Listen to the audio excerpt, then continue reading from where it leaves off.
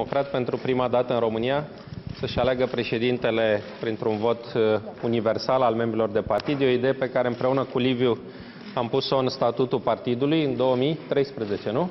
10. 10, chiar din 2010, foarte bine. Și oricum, uh, oricâte critici, că na, dacă face ceva PSD-ul, normal că sunt și criticile, eu cred că va fi un președinte legitim, uh, și oricum mult mai legitim decât să te ia să te pună domnul Iohannis pe o domnișoară să o pună șefă la partidul de opoziție. La PSD nu te pune chiar așa.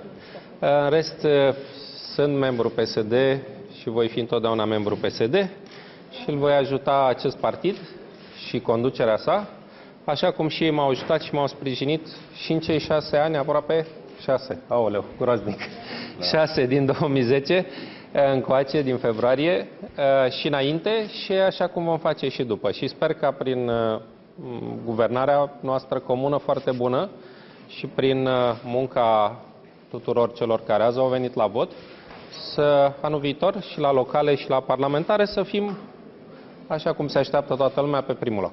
Aveți aici în chestionar două întrebări. Una, care e cea mai bună măsură da. luată de guvernul Ponta și o alta, care este cea care v-a nemulțumit cel mai tare? Cum răspundeți Păi dumneavoastră? cea mai bună? Oh, avem multe bune.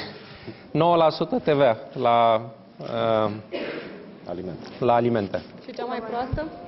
Îmi pare rău că am cedat, am schimbat niște legi, că altfel în 2012 îl demiteam pe Băsescu și era bine pentru România. Crin Antonescu era președinte și România arăta altfel. Mult, de 100 de ori mai bine decât arătase.